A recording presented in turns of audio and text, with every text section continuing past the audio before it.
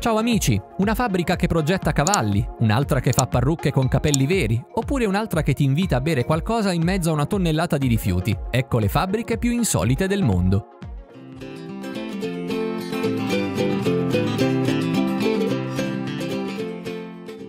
Ti piacciono le caramelle, è normale, ma non ti sei mai chiesto come arrivassero fino alla tua bocca? Beh, vieni con noi ad immergerti nel cuore di questa fabbrica particolare. Saprai finalmente come vengono fabbricati i famosi lecca-lecca che hanno la forma a spirale multicolore. Hai persino il diritto di farti un posto in mezzo a questi impiegati. Innanzitutto controllerai lo zucchero che sta cuocendo. Quando è cotto lo farai scorrere su un tavolo da lavoro immenso. Poi aspetterai che si raffreddi leggermente. Dopodiché aggiungerai dei coloranti e ripeterai la stessa operazione per ogni colore. Dopodiché ogni colore verrà inserito in una macchina rotativa che si occuperà di impastare la glassa in modo che si ammorbidisca. In seguito a ciò riunirai tutti i colori e ne formerai un cerchio immenso, utilizzando i tuoi muscoli. Buona fortuna! Inserirai questo cerchio in un tubo rotante che si trova vicino a un camino. Quest'ultimo avrà il compito di impedire che lo zucchero si cristallizzi e si indurisca. Mentre il tuo cerchio si riscalda serenamente, raddoppierai gli sforzi, perché bisognerà fare in fretta formerai cerchi più piccoli che passerai al tuo collega, il quale li rotolerà e formerà delle spirali, poi un altro che vi incollerà un bastoncino. Il tuo lavoro si ferma qui perché altre persone daranno il cambio per confezionare i lecca lecca e conservarli. Questo lavoro è più difficile di quanto si pensi, ti richiederà destrezza e precisione. Inoltre bisognerà sopportare il caldo ed essere soprattutto molto veloci, perché quando lo zucchero si indurisce l'operazione è destinata a fallire.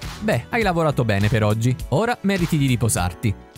Hai appena traslocato e per congratularti tua mamma ti ha regalato un tappeto di lana. Carino, ma non è proprio di tuo gradimento. Aspetta prima di pensare di scambiarlo con un bel puff. Sappi che dietro a questo tappeto c'è tutta una storia. Vuoi sapere come è stato fabbricato? Appuntamento in una fattoria, perché per raccogliere lana grezza bisognerà tosare pecore. Innanzitutto inizierai con tosare un bel gregge di pecore. Quando centinaia di chili di lana verranno raccolti, ordinerai i velli in lotti secondo la loro qualità velocità. Li rotolerai, li piegherai in sfere per far sì che siano trasportati verso lo stabilimento tessile che si occuperà del resto. Ora eccoti all'interno della fabbrica. Guarda il seguito delle operazioni. Lo stabilimento trasformerà la lana grezza pulendola dal grasso, dalla polvere e da tutte le impurità che contiene. La bagneremo, la laveremo, poi l'asciugheremo. Dopodiché verrà la fase districante, durante la quale si innaffierà la lana con un'emulsione trattante. Poi le fibre saranno messe sotto forma di nastro uniforme, denominato nastro cardato lavorato. Infine la lana verrà stirata per far sì che acquisisca elasticità e regolarità. Poi verrà trasformata in filatura o per i tessuti o per i fili di lana. Per quanto riguarda la tintura, quest'ultima può farsi in bagni di soluzione colorante, dopo il lavaggio, prima della filatura, direttamente sul filo oppure dopo la tessitura o il lavoro a maglia delle fibre. Ora che rivedi questo tappeto avrà più valore ai tuoi occhi. Mmm, daresti tutto per piccole cosce di rane immerse nella loro persillade, ma sapevi come facessero per arrivare fino al tuo piatto? Spero che tu abbia lo stomaco ben ancorato. Ti spiego tutto. Innanzitutto si riposano gentilmente in bacini d'acqua enormi, aspettando che arrivi il loro turno. Quando arriva il loro momento sono appese una ad una su una specie di appenderia in cui ogni rana è appesa per una gamba, testa in giù. Vengono lavate vive, poi passano in un prodotto trattante, vengono poi rimesse sulla famosa appenderia, morte questa volta, per far sì che siano spogliate della loro pelle. Vengono poi smembrate, le membra selezionate, le cosce invece vanno in direzione del pacchetto in cui saranno impacchettate sottovuoto per essere vendute, una vera carneficina. Queste immagini ti hanno scioccato? È normale. Se non mi sbaglio, dopo aver visto tutto ciò, immagino che ora desideri piuttosto una pizza per cena. Immagina tu sia un parrucchiere, hai il tuo locale e ci lavori da anni, ma vuoi emanciparti professionalmente e ti specializzi nella fabbricazione di parrucche. Ma prima ti invito a scoprire questo stabilimento particolare in Russia. Qui vengono fabbricate parrucche con capelli veri, raccolti in tutto il paese. Gli uomini come le donne vendono le loro chiome di capelli e lo stabilimento si occupa di comprarli al chilo. Li selezioniamo, li laviamo, li pettiniamo, li trattiamo contro gli eventuali pidocchi e altri animali. Poi, quando vengono asciugati, li tiriamo tingiamo per dar loro un nuovo colore brillante, li pettiniamo di nuovo e infine li sistemiamo in mesh per farne extension che verranno venduti al prezzo di 250 fino a 400 euro, molto redditizio. Ma se ti vuoi lanciare in questa attività avrai bisogno di avere un cuore di pietra per molti motivi. Il primo è quello che la maggior parte delle donne e degli uomini vendono i loro capelli soltanto per ragioni finanziarie o a causa di malattie, cosa che fa sì che dovrai guadagnare soldi sulle spalle di povere persone. Il secondo è che questo lavoro non è molto invitante, a meno che tu faccia lavorare gente con te e che tu ti occupi soltanto di raccogliere il denaro. Detto ciò, puoi sempre fare bei tagli e pettinature nel tuo locale, cosa che in sé è un mestiere molto più che dignitoso. Cosa sceglieresti? Abbastanza denaro e un mestiere dignitoso o molto denaro e un mestiere alquanto incongruo?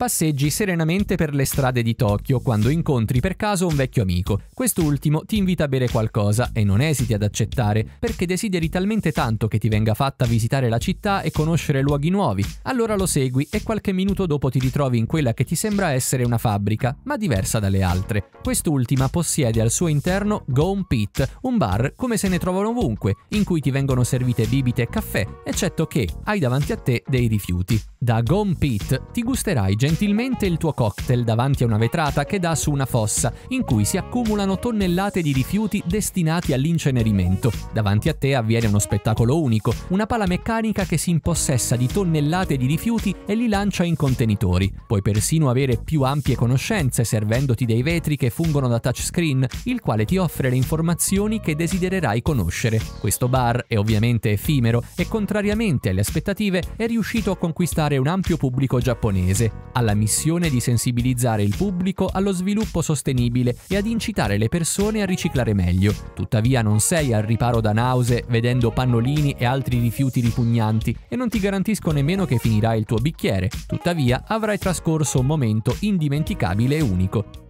Chi non ha mai sognato di possedere una Ferrari? Ma vuoi vedere la favolosa ditta in cui una delle auto più costose al mondo viene progettata? Seguimi, benvenuto a Maranello, in un posto unico al mondo, un complesso industriale di 250 ettari, ossia l'equivalente di 50 campi da calcio, contenente da solo tutta una città a sé. Contiene edifici ultramoderni, un viale centrale con le sue vie perpendicolari che portano i nomi di grandi campioni del mondo. A ciò si aggiungono numerose unità di montaggio con i loro eserciti di robot all'avanguardia, piste per test privati, un ristorante immenso in cui 3.000 dipendenti consumano i loro pasti ogni giorno. Le auto vengono confezionate secondo criteri rigorosi, specialmente il tempo. Ogni fase non deve superare un tempo ben definito. Dall'altra parte una fila interminabile di macchine da cucire in cui dei dipendenti insistono a fabbricare tutto ciò che ricoprirà l'auto. Dopodiché verrà la fase di rifinitura in cui ogni auto viene completata secondo la volontà del cliente, un cliente ricchissimo che ha deciso di regalarsi il gioiello per il prezzo di 200.000 euro mediamente, se sceglie il modello meno costoso. Ammettiamo che tu abbia i 200.000 euro e che tu voglia procurartene una, dovrai tuttavia aspettare più di due anni per l'ordine, la progettazione e la consegna. Ti viene il capogiro a furia di vedere così tante belle auto, tutte più appariscenti l'una dell'altra? È come ti capiamo. Ti piacciono i cavalli? Scommetto di sì. Chi non li ama, tra l'altro? Ma sapevi che se possiedi tutto un bestiame e li commercializzi, saresti costretto a praticare l'inseminazione artificiale in modo che tu abbia il massimo di nascite e quindi il massimo di vendite? E no, l'inseminazione artificiale tra i cavalli non avviene esattamente come negli esseri umani. Le cose sono meno delicate. Hai voglia di sapere di cosa parlo? Ti fa grattare un po' la testa? Beh, non tarderò a risponderti. Per questo, rimettiti di nuovo i tuoi stivali. Facciamo un'immersione veloce in questa fattoria fabbrica che pratica l'inseminazione artificiale nei cavalli. Se ti chiedi perché questa fattoria si dedica a questo genere di pratica, il motivo è che molto semplicemente un maschio solo non può fecondare più cavalle contemporaneamente. L'idea è quella di raccogliere il suo seme e distribuirlo, se posso utilizzare la parola, a tutte le cavalle della scuderia. Per realizzare ciò la sfortunata impiegata che si occupa della pratica prepara un barattolo nel quale introduce una busta di plastica, collega il tutto a un tubo enorme che riveste come un guanto. Poi fa in modo che il cavallo si accoppi con un plastico facendogli credere che si tratti di una cavalla. Dopodiché raccoglie il suo sperma nel famoso tubo. L'impiegata analizzerà successivamente la qualità del seme per poi inserirla in più siringhe collegati a lunghi tubi molto fini e arriva la fase più delicata, quella in cui dovrà inserire tutto il braccio nel retto della cavalla per deporvi il seme. Un lavoro diverso da quello dell'ufficio, infatti. Ci vuole molto coraggio perché oltre al fatto che si tratti di un'operazione sgradevole, tanto per l'animale quanto per la cavalla, l'impiegata corre un bel rischio di ricevere un calcio con lo zoccolo in faccia. Immagino che queste immagini ti abbiano alquanto disturbato, è normale perché non capita tutti i giorni di avere l'occasione di vedere tali operazioni, ma se un giorno ti chiederanno riguardo l'inseminazione artificiale nei cavalli, saprai cosa rispondere. Allora, cosa ne pensi di queste fabbriche fuori dal comune? Dici cosa ne pensi nei commenti. Ecco due video che potrebbero anche loro interessarti. Non esitare a dare un'occhiata sul nostro canale, altri video altrettanto interessanti ti aspettano. Grazie e a presto!